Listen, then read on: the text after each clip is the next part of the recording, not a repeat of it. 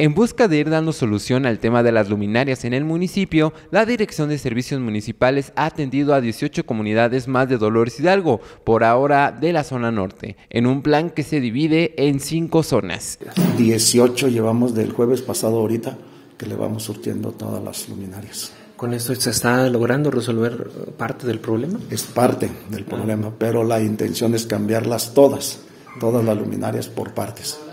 Entonces se adquirirán las, las luminarias de acuerdo a cómo vayan uh, saliendo, teniendo el presupuesto y entonces las podríamos cambiar. Bueno, eh, recuérdanos cuánto es el número de luminarias que hasta el momento cuentan y las que están cambiando. La pasada administración cambió un promedio de 3.000 lámparas y ahorita tenemos la posibilidad de cambiar aproximadamente nada más lo que resta del año, unas 1.500 posiblemente pero la intención es que en los tres años podamos cambiar las, demás luminarias.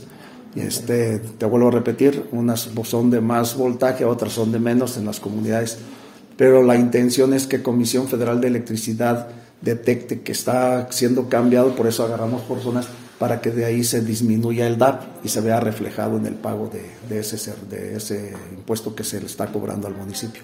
En un aproximado de dos semanas se comenzarán a cambiar las luminarias de la zona centro, que hasta el momento son de vapor de sodio, pero se pretende se cambien a luz LED todas. Se comenzarán por avenidas principales. Este, en las próximas dos semanas estaremos concentrándonos en la zona centro del municipio para poner cambio de farolas con un LED kit tipo kit, perdón.